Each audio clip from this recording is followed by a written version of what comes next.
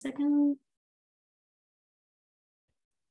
Fantastic. So, thank you so much to the organizers of our Evo Fun Path uh, program for hosting this seminar. And it is an absolute pleasure to have the opportunity to introduce Joe Heitman. So, Joe is a James B. Duke Professor and Chair of the Department of Molecular Genetics and Microbiology at Duke University. He uh-huh. serves as the director of the Tri Institutional Molecular Mycology and Pathogenesis Training Program.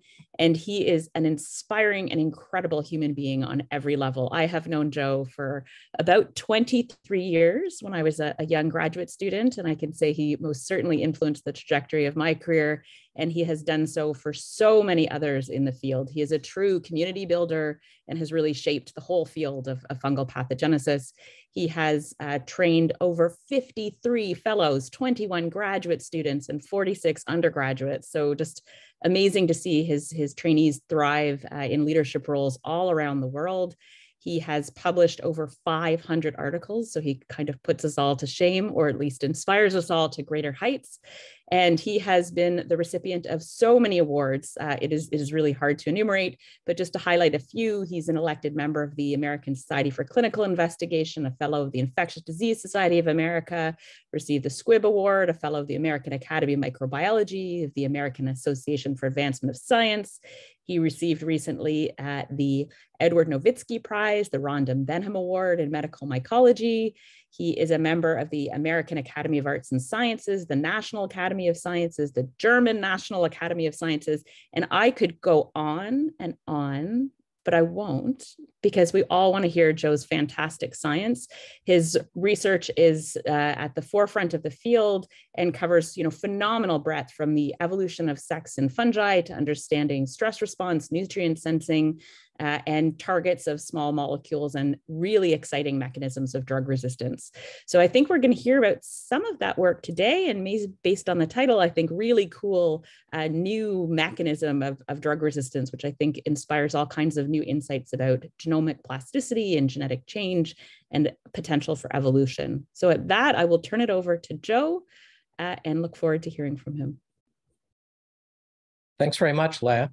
And um, it's a great pleasure to be here today. I want to begin by thanking Christian and Isabel and Leah for the invitation to join with you. And I've been hearing just a bit about your training program and how you are um, far flung across all of Canada, which is why we're meeting here via Zoom rather than in person. And it's really a great pleasure and opportunity to be here. And what I want to tell you about today is a story about antimicrobial drug resistance. And it's a project that began as a, a, a summer project for a rotation student in the lab. And Leah mentioned um, all the trainees that have been in my lab. And I, I think really at some level, one might think that PIs make all the discoveries that happen, but in reality, we know it's the people at the bench that make the discoveries, and we help to um, shepherd those into print. So I've been really fortunate and grateful to the undergraduates, graduate students, postdocs, and um, long-term staff that have worked in my group. Let me see if I can turn on my laser pointer here. And I want to begin to put this story into a historic context. And this starts with Max Delbruck, who many of you may know was an icon of the early days of molecular biology. He was part of the phage school of molecular biology. He was originally a physicist and then became fascinated by the molecular nature of life and chose a very simple system to interrogate questions about how genetics and information flow happens in living systems. And together with uh, um, Salvador Luria, they focused on um, bacteriophages or viruses and uh, the bacteria E. coli. And this is one of their more famous studies um, that gets to the root of how mutations occur in populations. And some people refer to this as the Luria-Delbruck fluctuation test or fluctuation experiment. And you can see it was published quite a long time ago in genetics. So this is really just to set the stage. This is a textbook um, exposition of their experiment. And what they did was they took cultures of E. coli, the bacteria E. coli, And if they grew a single subculture and then um, tested it multiple times, multiple aliquots, to look at how many might be resistant to a lytic phage called T1, you can see there's a little bit of variation here, but that's really just the experimental variation around the, the mean or the average.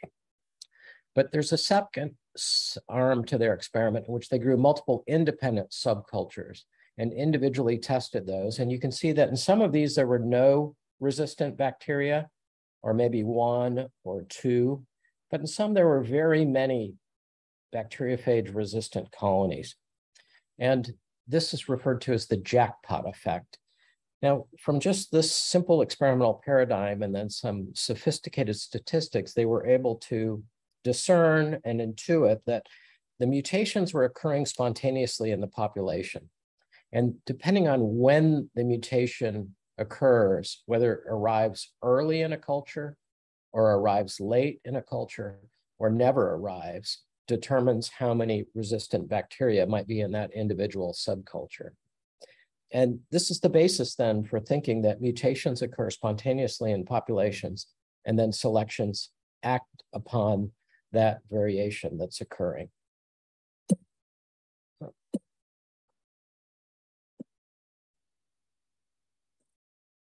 Oh, my screen seems to be frozen. Let me see if I can get out for a sec.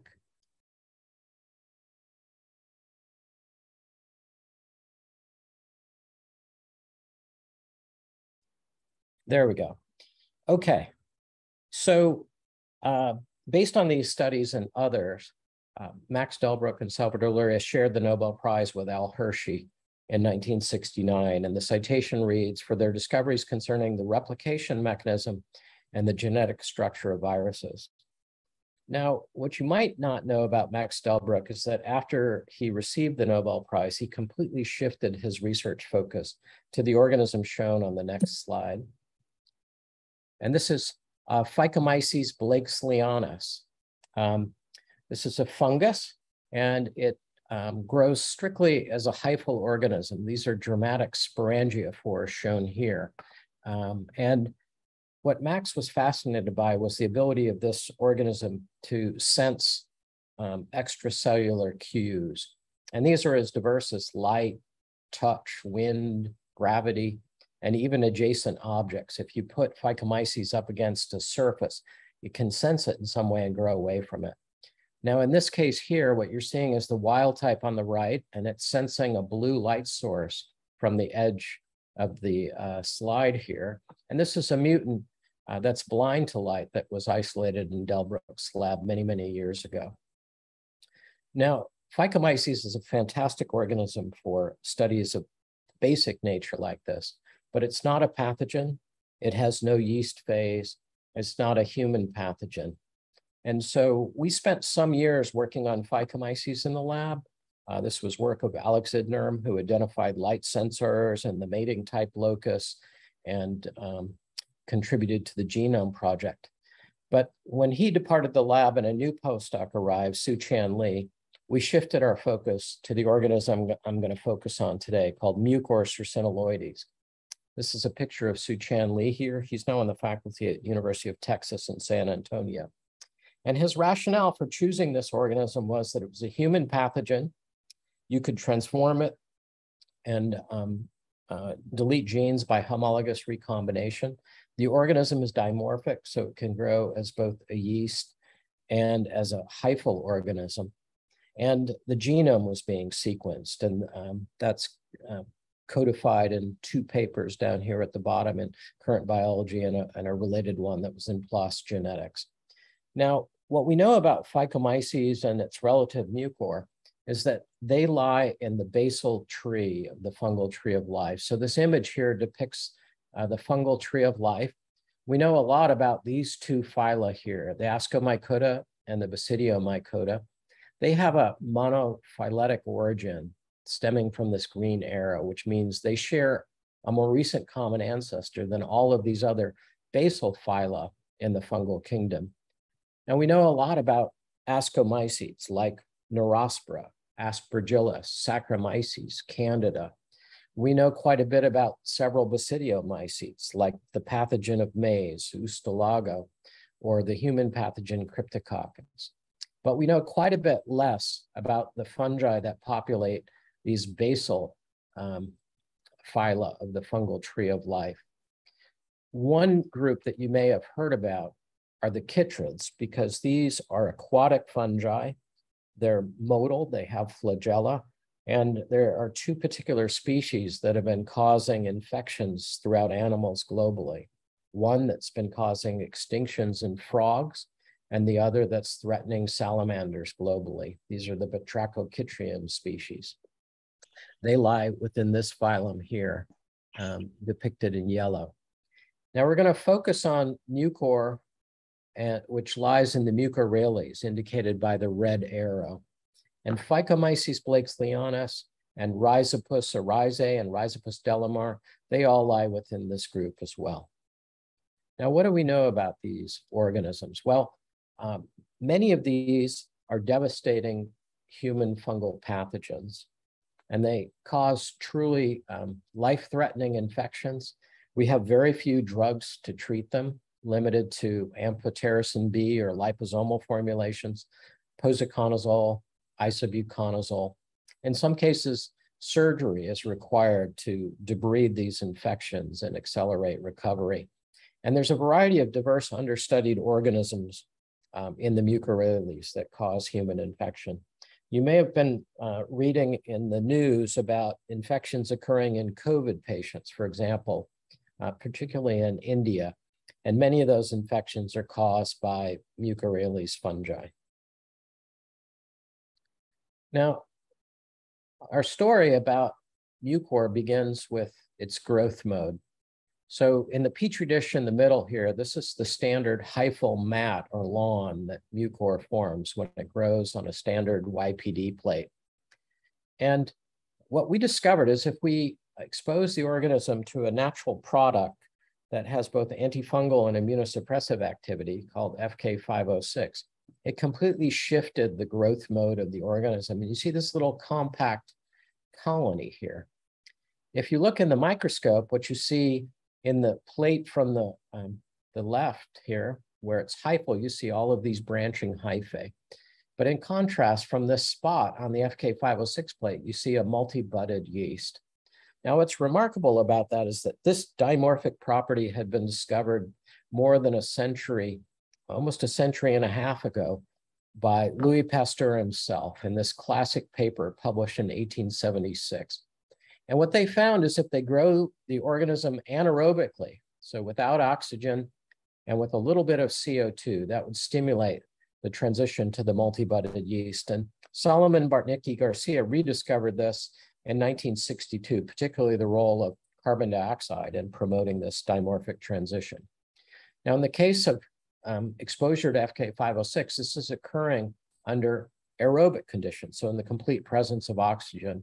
So it's somehow bypassing the need for anaerobic growth in CO2 and stimulating the dimorphic transition. So we've capitalized on this observation to isolate variants that are resistant to FK506. Now, I want to tell you about the mechanism of action of this natural product antifungal compound because that'll help place this in context. So in the middle of the slide, this is a cartoon showing FK506. It's a macrolide natural product made by Streptomyces bacteria in the soil.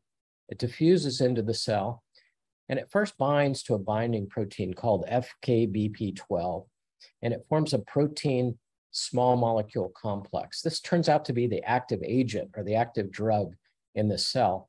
And it binds to with high affinity and inhibits uh, this complex of proteins, which is a phosphatase called calcineurin. This is a calcium calmodulin activated serine threonine specific phosphatase. Now, on the right hand of the slide is the crystal structure and showing the ternary complex between calcineurin, FK506, and FKBP12. So the drug receptor FKBP is in gold, FK506 is in blue, and then the two subunits, the phosphatase, the active catalytic subunit is in green, and then the regulatory subunit is in cyan, and these red molecules depict the active site of the phosphatase. What's important here is that where the inhibitor binds um, is not the active site. So this is not a competitive inhibitor. It blocks substrates access by occlusion. So it's a non-competitive inhibitor. And it's targeting a region of the phosphatase that's completely unique to calcineurin. It's not shared with any other phosphatase in the cell. All of that homology is in this catalytic region here. So it makes this inhibitor exquisitely specific for just this phosphatase. Now, it turns out this is the mechanism of action for antifungal activity. All of these proteins are present in fungi. It also turns out this is the mechanism of action for the immunosuppressive activity of FK506 in our immune system. In our T cells um, that are involved in rejecting organs that are transplanted into the body, calcineurin plays a very specific role in responding to calcium fluxes in response to antigens presented to the T cell. And it's responsible for dephosphorylating the nuclear factor of activated T cells, NFAT. So the mechanism by which this inhibits fungal growth and concomitantly inhibits the immune system is through the same molecular targets. Now, on the other half of the slide is an illustration of a completely distinct natural product called cyclosporin. It's a cyclic peptide. It's made by a fungus that lives in the soil. But like FK506, it goes into the cell, it binds to a receptor called cyclophilin A, and even though these complexes look nothing like each other, it also binds to and inhibits calcineurin. And this is the high resolution ternary structure of that complex. So both cyclosporin and FK506 have gone on to be um, gold standard drugs for organ transplant recipients. Now, if we return to our story about Mucor, I'll remind you this is the growth on control media. If we add FK506, it completely switches the growth mode to this compact yeast colony. And if we just keep incubating this Petri dish, lo and behold, you find these drug-resistant sectors arising. You find a very large one here that arose early during the culture. And you find smaller ones that arose later in the growth of this culture analogous to sort of the jackpot effect or the late arriving mutations from the Luria-Delbruck fluctuation test. And if you look at these under the microscope, you see on this side, there are hyphae, here are multi-budded yeasts, and here these sectors are restored to hyphal growth. So how did the organism become drug resistant? And it turns out there are two mechanisms of resistance. The first mechanism involves mutations in the targets that we just talked about. Calcineurin A or calcineurin B, the catalytic or the regulatory subunit, or an FKBP12. And these Petri dishes show you this is an FKBP12 mutant. These are two different calcineurin B mutations. These are two different calcineurin A mutations. We can model these on the known crystal structure. And um, the mutations that lead to a loss of FKBP12 confer drug resistance, but correspondingly, mutations that change amino acids on the um, inhibitor target on calcineurin A or calcineurin B, they cause dominant drug resistance because they block binding of the inhibitor complex to the phosphatase. And you can model the impact of those mutations based on the crystal structures. So this is a nice validation that the drug is acting through the targets that we've already known about in T cells, in Saccharomyces, in Canada, in Cryptococcus. But that's not where our story ends today. There's a second class of drug-resistant isolates. And it turns out that these isolates have no mutation anywhere in their genome, no mutation in FKBP12 or calcineurin A or calcineurin B. And one such isolate is shown here. This is the wild type on the left, and this is Cecilia Schertz isolate 2-1 that that um, rotating graduate student isolated in the summer project. And lo and behold, that isolate's resistant to FK506 compared to the wild type, and it's cross-resistant to a second drug that we haven't introduced yet called rapamycin. So like FK506, rapamycin is a natural product. It's made by a different Streptomyces species that lives in the soil. And yet it shares half of its macrolide ring with FK506. And both of these drugs bind to FKBP12. But instead of inhibiting calcineurin, rapamycin binds to a different target in the cell that's called TOR. And that's an acronym for target of rapamycin. So the one commonality to the mechanism of action of these two antifungal drugs is they have to bind to FKBP12 to inhibit growth. And because these isolates are cross-resistant to both of these, it implicates some defect in FKBP12. Now, when we first saw this, we, of course, we did PCR and we sequenced the open reading frame of the gene, and we found no mutation. So we thought, oh, it must be in the promoter region. And we designed other primers and sequenced the promoter region. No mutation. Aha, it must be in the three prime untranslated region. So we PCR amplified that and sequenced it. There was no mutations there. And ultimately, through whole genome sequencing, we found there's no gene, there's no mutation anywhere. So why are they drug resistant became the question. And about 30% of Caecilius isolates had this unusual property. Now, I can tell you a bit more about these isolates. We had an antibody raised against FKBP12 from Saccharomyces cerevisiae. It cross-reacts with the protein from Mucor. If we delete the gene, uh, the protein disappears. And in these uh, resistant isolates of Caecilius, the protein is missing. And by northern blot, the mRNA encoding FKBP12 was also missing. So it looks like a mutant, but there's no mutation. So what explains the loss of the protein in the RNA? Well, at this stage, Cecilia came into my office and she said, you know, I'm really, really frustrated with these isolates because when I passage them on YPD, they start losing their phenotype. They aren't drug resistant anymore. And this is really frustrating. And, and we talked about this for a while and then we realized, well, maybe this is interesting because it's a kind of transient antimicrobial drug resistance. And maybe that'll be a clue. So we made a very organized experiment. We took two different wild types. When we passage them, they always grow as a yeast on FK506 media, indicated by a Y. So they, re they remain sensitive no matter how long we passage them.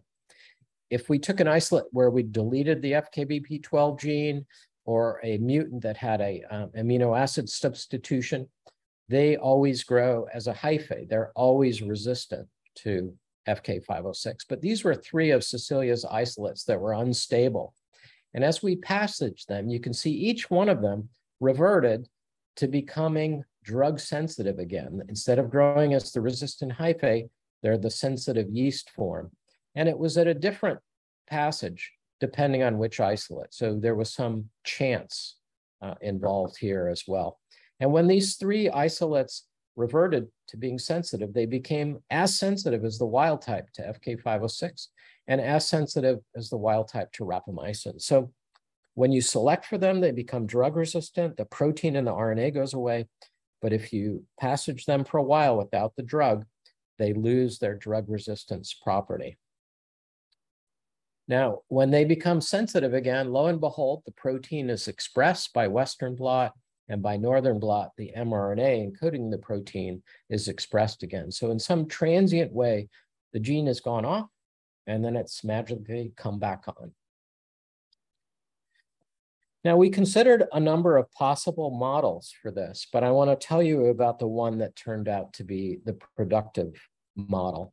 And that was to consider that there were groups in Spain that had been working on the RNAi pathways in mucor, and they had identified canonical subunits or proteins, including a dicer, argonauts, and RNA-dependent RNA polymerases, and published a series of papers on this. And so we entertained the idea that, well, maybe in these transient drug-resistant isolates, maybe somehow RNAi had turned on and silenced the FKBP12 gene. And to test that, we prepared small RNAs from a variety of strains. We ran them out on polyacrylamide gels, transferred them to filters, and then probed these with a probe that's specific for antisense to the FKBP12 gene. Now you can see in the wild type, there's no small RNA hybridizing to the gene, but in each of these different epimutant isolates, when they are grown in the presence of FK506 or they're still in their resistant form, they have abundant small RNAs. And when they revert to being sensitive, all of those small RNAs disappeared in every case. We went on to make whole genome libraries of small RNAs and sequence these to look at the whole genome repertoire. And what I'm showing you here is an alignment of the small RNAs to the FKBP12 gene in the genome. It has three exons and two introns. You can see in the wild type, there's no small RNAs, similar to the blot. But in the three different epimutants, you see um, small RNAs corresponding to both the antisense and the sense strands, but only to the exons of the gene. No small RNAs corresponding to the introns. And it suggests that it might be the mature RNA that's the target of the siRNA rather than the genomic locus. Now, when those strains revert to being sensitive, essentially all those small RNAs disappear. Now, the other important finding was that there was no increase in small RNAs anywhere else in the genome, not to the gene. Oops. Uh, let's go back, sorry not to the gene on the five prime side, not to the gene on the three prime side, not to any other genes in the genome. So to a first approximation, only this gene has been silenced by small RNA in the genome in these drug-resistant isolates. Now, there are lots of other loci that have small RNAs. Many of them are transposons, for example, but those don't change when they're resistant or sensitive to FK506 or rapamycin, just this gene. Now, um, at about this point in the story, um, Sylvia Kahlo joined the lab. She had done her graduate work um, at the lab at the University of Murcia, where the RNAi components were identified. And um, she had made mutations in many, if not all, of the RNAi pathways in the organism. So she brought all of her mutants with her to the lab. She repeated the screen for FK506 resistant isolates. And then she simply took, these are wild type strains, these are dicer mutants, dicer 1 or dicer 2 or RNA dependent RNA polymerase 2. And she just ran out small RNAs and probed for small RNAs to the FKBP12 locus. And then she could determine the frequency of epimutation in these different backgrounds. And then when she quantified this, as shown in this table, in the wild type, you find about 30% epimutants. But for example, in the RDRP2 mutant, you never found any epimutants. Now, this leads to um, sort of a lower bound on what the frequency is, but it's below the detection limit. And so by this process, we could identify a whole series of RNAi components, dicer, RNA-dependent RNA polymerase 2, Argonaut 1, an exonuclease, and a helicase that were absolutely required for the formation of these epimutations. Now, by the same approach, she could show that some of the RNAi components, and there's two other Argonauts called Argonaut 2 and Argonaut 3, they were dispensable for epimutants. And epimutants form at about the same frequency as in wild type. So some RNA components are required and some are not, and probably function in a different pathway. Now, she found a third category of mutant that originally surprised us because we weren't anticipating it. And that category, in these mutants, RNAi mutants, she found many more epimutants. So, for example, here's the RDRP1. Almost all of the drug resistant isolates are epimutants. The frequency is about 80%. And these epimutants were much more stable than in the wild type background. So no matter how long we passaged them, we never saw them reverting. So these observations allowed us to put these components into a series of RNAi pathways that are operating in Mucor.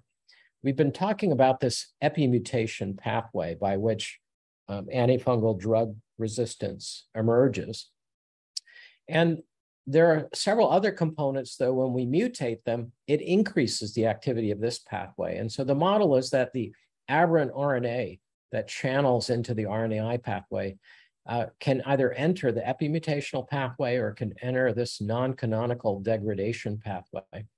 And in this pathway, um, uh, dicer is replaced by an alternative dicer called R3B2. You'll see that there's the two RNA-dependent RNA polymerases, RDRP1 and RDRP3. These three are the mutants that give rise to a higher frequency of epimutation and very stable epimutants. And so we think these two pathways are competing for the aberrant RNA, one to degrade it, one to channel it into an epimutational pathway. Now, this has been revealed by using mutants that inactivate this pathway, but you can imagine that there might be regulatory conditions in which the activity of this competing pathway is either increased or decreased.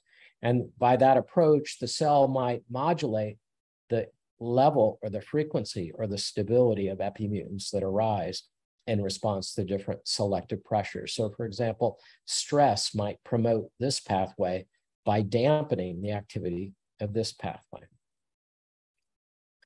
Now, you may be wondering, well, how did this ever start in the first place? How did you get RNAi or small RNAs to the FKBP12 gene? And usually there's a double strand RNA intermediate. And when we looked at the organization of the genes in the genome, it turned out the FKBP12 gene is overlapping the neighboring gene, which is a, a putative polyamine transporter. And there's about 92 base pairs of overlap between the two transcripts. So we thought, aha, this must be double stranded RNA. Maybe the poly A tails are cleaved maybe RNA dependent RNA polymerases extend this and you dice it to silence the gene. So to address this, we deleted the PAT-A gene and found it had absolutely no impact on epimutation. These are a whole variety of epimutants arising in a PAT-A deletion background.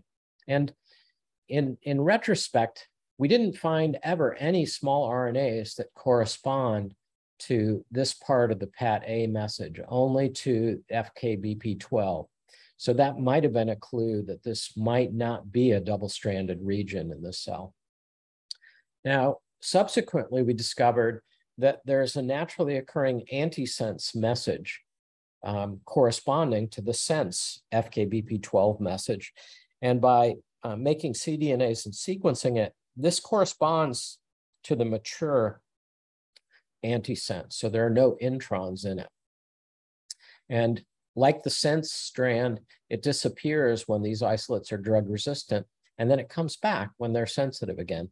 So we think that in some circumstances, the sense and the antisense find each other as a double-stranded intermediate for RNAi. Now, this suggests there might be an RNA-dependent RNA polymerase that generates this antisense. We've checked in each of the single RNA RDRP mutants and they all still make this antisense. So either there may be some redundancy here or there may be another RNA dependent RNA polymerase um, that we haven't identified. So to summarize, um, we found um, spontaneous FK506 resistant mutants can result from either stable mutations or unstable epimutants. There's no change in the FKBP12 gene at the nucleotide level, but both the mRNA and the protein are absent and you find abundant small RNAs. And this pathway, um, RNAi pathway may be regulated or stochastic and appears that it might involve an antisense RNA as the trigger. Now, at this point, we sent this study to Nature and it was reviewed and the reviewers and the editor said that it was pretty interesting, but this was um, all based on studies of one gene in one organism. And they said, can you just show us that this occurs for another gene or show it, uh, show us that it occurs in another species? So we spent about six months trying to do both of those things unsuccessfully. And we were just about to write back to nature and say, you know, when introns were discovered, it was in one gene in one virus, and that that worked out pretty well. It turned out to be generalizable. Maybe this will be as well. But we had one last lab meeting, and we realized we were working on very closely related isolates of mucor that people had called forma or varieties. But as the genomes were being sequenced, it became clear that they were different species. And everything I've told you about is in a species that we now know as Mucor lusitanicus. So we decided to very quickly test uh, isolates from a different species called Mucor succinyloides. Some of the epimutants are shown on this slide here that are drug resistant. You'll see that there are lots of abundant small RNAs in these isolates.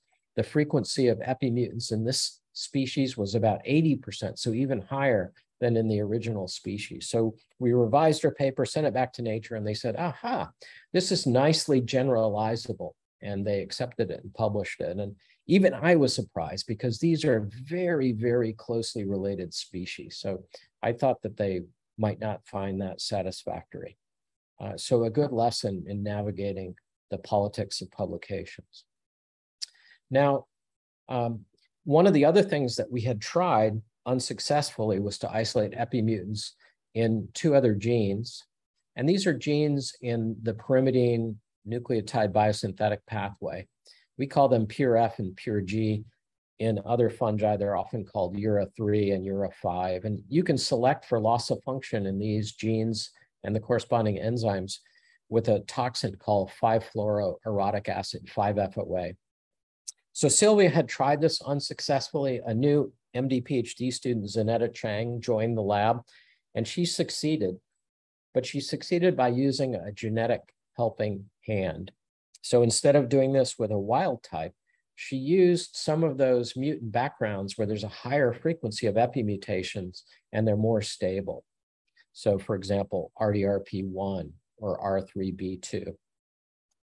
And lo and behold, she found epimutants in both genes. So here's the small RNA blot for two of her pure F epimutants, and here's a blot for her pure G epimutant. And um, these isolates are um, resistant to 5-fluoroorotic acid, the toxin I mentioned. Uh, but if we passage them, so for example, this isolate's been passaged 10 times, it loses its drug resistance. And similarly, this mutant, if we passage it, it loses its drug resistance. Now, this is unusual because the epimutants in these backgrounds uh, for the FKBP12 gene are very stable. They never revert. So there seems to be a difference for the pure F and the pure G loci. It's harder to get an epimutant to begin with. And even when we can find it in a background that we would think would normally stabilize it, they're revertible. So not every uh, gene in the genome is equally poised to form epimutants.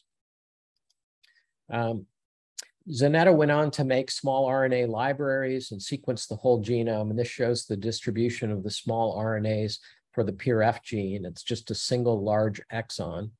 This is for uh, the pure G gene, which has three exons. And again, the small RNAs are only decorating the exons and they're not um, hybridizing to genes upstream or downstream of these loci. There might be a little bit of spreading of this message here, probably because that's where this mRNA starts.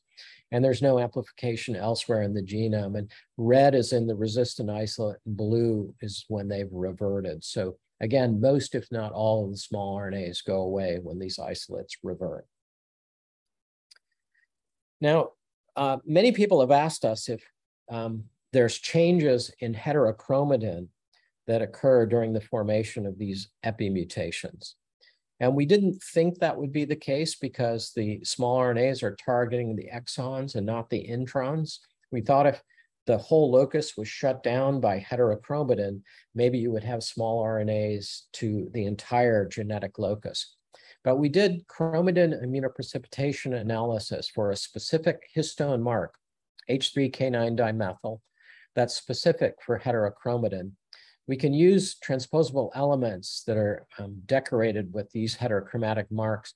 And then if we look at our wild type or the epimutant loci, uh, looking at the five prime region, an exon, an intron, the three prime region, in two different um, species, we find no increase in heterochromatic marks, um, either by uh, ChIP-seq or by um, whole genome ChIP-seq. Uh, this is RT-PCR analysis, and then this is ChIP-seq.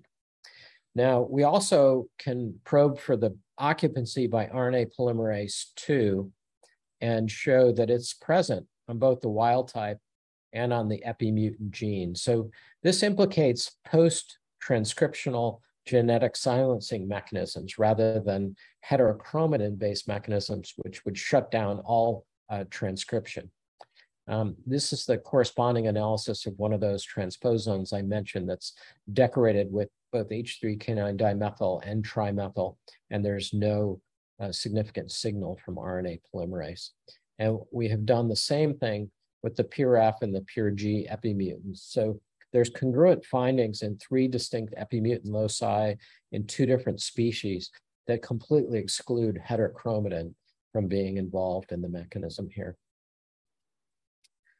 Now, Grit Walter and her colleagues at um, the University of Jena in Germany have been um, conducting a detailed phylogenetic analysis of the mucor species complex. And I've been telling you about Mucor lusitanicus and Mucor circinoloides. And what Grit and Sibber Nahug and others have found is there's 16 phylogenetic species across this complex. And seven of those are known to be human pathogens. It's the ones where there are more isolates than some of the others because these occur from clinical cases. Um, so we've set up a collaboration with Grit. She's sent us isolates for each of these phylogenetic species, and we're busy looking to see if epimutations occur across the whole species complex. Now, the other thing they did was to discover the holy grail for mucor genetics. And we've known about a sexual cycle for mucor for many years, but nobody could ever get the spores to germinate.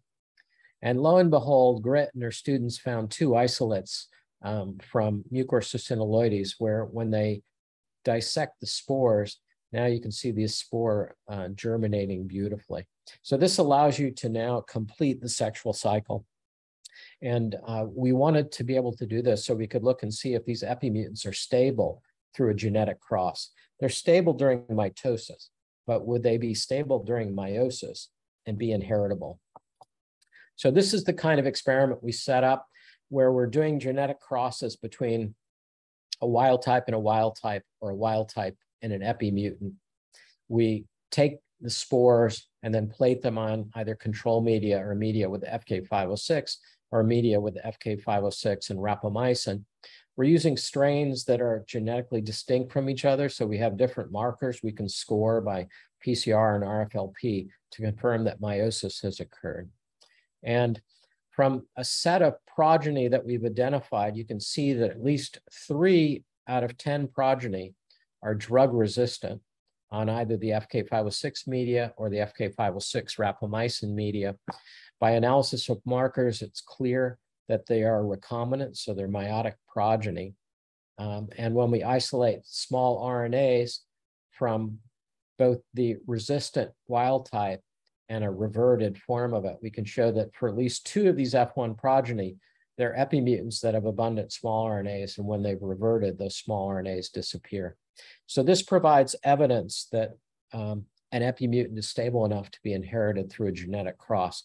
Now, it's quite interesting that not all the progeny inherit it. You might have thought this would behave um, dominantly in a way because the small RNAs could spread. So in essence, I think it's interesting that it's inheritable and also that it's not inherited by all the progeny. And that might be a bet hedging strategy that the organism is uh, deploying. Um, so um, a couple of final experiments that Zanetta did before she graduated and went on to her clinical training. And these involve animal studies. And the first question she asked was if she infects mice with an epimutant drug resistant strain, and then recovers colony forming units from the animals, will the epimutant be stable during the infection? And what she did is she isolated colony forming units from a variety of different tissues. And you can see that when they are derived from the liver, the spleen, the kidney, and the lung, they're almost 100% resistant. So the epimutant is incredibly stable in those tissues. And this suggests that if an epimutant arose in the context of an infection, either a mouse or a human, it could be stable enough to impart antifungal drug resistance. The one other interesting finding was that in the isolates from the brain, about half of them had reverted to drug sensitivity. So again, there's some plasticity. We don't know why they're reverting in the brain. It could be that they've just undergone more replicative cycles there, or it could be some other difference in the nature of the central nervous system. Now, the other experiment that Zanetta did was she infected with a drug sensitive isolate and then recovered colony forming units on FK506 media. And the reason she was doing this is because it's very hard to enumerate colony forming units for a hyphal organism. But if you can grow an organism on FK506 and it grows as a yeast, it's easy to count colony forming units. But what she found was that there was a higher level of intrinsic FK506 resistance occurring when the CFU was derived from the brain compared to other organs. So about 5 to 10% of the isolates from the brain were already drug resistant. These are showing that these are epimutant um, drug resistant isolates. She found only one example of a Mendelian mutant, a transposon had jumped into the FKBP12 gene. All the other ones were epimutants. So there's something very unique about the brain in the mouse um, that there's some level of instability of epimutants there, and there's also some induction of epimutants happening there. We think that could be in response to stress in the CNS. This is the final experiment Zanetta did before she graduated. She infected mice, she recovered CFU from the brain and the liver and grew these ex vivo for four, six, or eight days. This is a control. And then she made small RNAs and made small RNA libraries and sequenced the whole genomic repertoire just to ask, might there be epimutants that are induced during infection of the mouse? And she didn't really find anything striking from the samples from the liver or the controls, but for these seven genes, she found abundant small RNAs being induced in all the isolates that came from the brain of the infected mice. So these are now called brain epimutant genes A through G. and with one exception, they're novel proteins. They have some domains that might hint at function. But BEPA turns out to be the ortholog of the cell wall integrity MAP kinase, MPKA. So we're interested in these. Um, Carlos um, and Maribel have joined the lab as postdocs. Uh, they also did this bioinformatic analysis. They also compared this small RNA distributions with what they had found um, to be mRNAs based on um, RNA-seq analysis, putting the related species, Mucor lusitanicus, into macrophages. And they noted that this was one of the genes that seemed to be reduced in mRNA abundance in the context of macrophages. And so it might be attributable to small RNA impacting uh, the level of the mRNA here. And we're in the midst of a whole series of experiments repeating this um, to see if um, these are seven different epimutants that we've combined, or if in all isolates, all seven genes are being repressed simultaneously. We're also making um, gene deletions of each of these seven genes. Um, and we have a series of other experiments that are planned as part of an NIH R01 that recently received a fundable score. Um, this is um, AIM2. And basically the goal is to take either the wild type strain or the epimutants and to study them sorry, I'm starting to lose my voice. I um, tested positive for COVID on Tuesday this week, and I've been holding up pretty well until just about this point. Um, so we're going to put these into macrophage co-cultures into two different models for the blood-brain barrier to see if um, this instability might have to do with crossing the blood-brain barrier. We're um, growing them in um, brain organoids that are being produced in Debbie Silver's lab in our department. And we also want to look in the whole animal model and do some micro dissections of different brain regions to see if we might be able to pinpoint a region of the brain where epimutants are either unstable or induced. So I want to sum up and then generalize for you that we found these epimutations to be general and occurring in at least two different related species. We've found epimutations now in 10 different genes, three involving drug resistance and seven during infection. In vitro, at least, these epimutations seem to be spontaneous and stochastic. We haven't found stress conditions that induce them. And yet in the animal model, I've told you, we can find epimutants being induced there. And we think that must be in response to some type of stress during infection. These epimutants can be strictly epigenetic. And what I mean by that is if we take the epimutants that have reverted and we just repeat the selection again, we get epimutations at the same frequency. So it doesn't seem like a mutation occurred first that makes them more stable. Now, but I also told you that for pure F and pure G, we needed to have a genetic mutation before the epigenetic step. So you could imagine scenarios in which there are both genetic and epigenetic contributions that contribute. And so for example, some of the variability in the genetic cross might be due to underlying genetic differences in the parents. And then epimutations are like my mutations inheritable. So they can survive going through sexual reproduction, including my, meiosis and zygospore termination. So what's fascinating to me about this is from one plate, you get two different routes to phenotypic adaptation. one stable due to Mendelian mutation, and the other transient and unstable due to epimutation. And they're occurring side by side simultaneously. Now, epimutations were not discovered first in fungi. It turns out they were discovered first in plants. And the person who discovered the very first epimutant is Carl Linnaeus. Um, he's a famous botanist, the father of taxonomy and phylogeny. And this is a mutant variant he isolated of snapdragon several centuries ago. Here's the wild type. It has bilateral symmetry, and this is the peloric variant that he found that has radial symmetry. And so people interested in flower patterning genetics have been keeping this stock for centuries. And about 20 years ago, they discovered the gene and found that it wasn't mutated. Instead, it's undergone extensive DNA methylation, and that's the cause of its epimutant properties. And it's been inherited through flower crosses for centuries, but astute uh, botanists had noted that reverts at some low frequency. Now, epimutations also occur in humans, and this is the case of a specific inheritable cancer syndrome. It's called Lynch syndrome or hereditary non-polyposis colorectal cancer, HNPCC.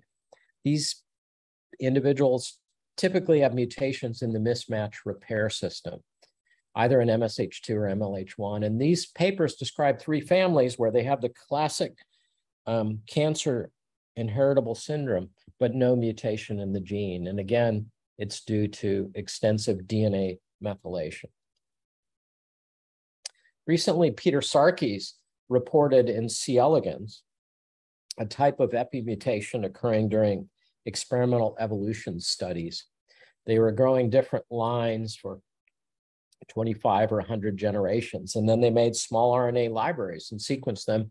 And lo and behold, they found small RNA epimutants arising and disappearing at different times in these cultures.